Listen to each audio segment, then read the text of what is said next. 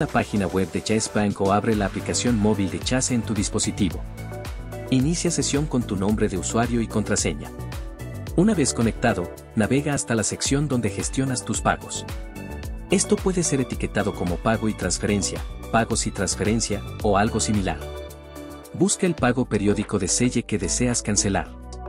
Debería aparecer entre tus pagos o transferencias programados. Haz clic o selecciona el pago periódico de Selle específico que deseas cancelar. Busca una opción o botón que te permita cancelar el pago periódico. Esta opción suele aparecer etiquetada como cancelar pago, detener pago periódico o similar. Después de seleccionar cancelar el pago, es posible que se le pida que confirme su decisión.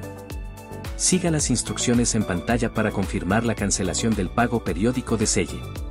Una vez cancelado, revisa el mensaje o correo electrónico de confirmación para asegurarte de que el pago periódico se ha detenido correctamente.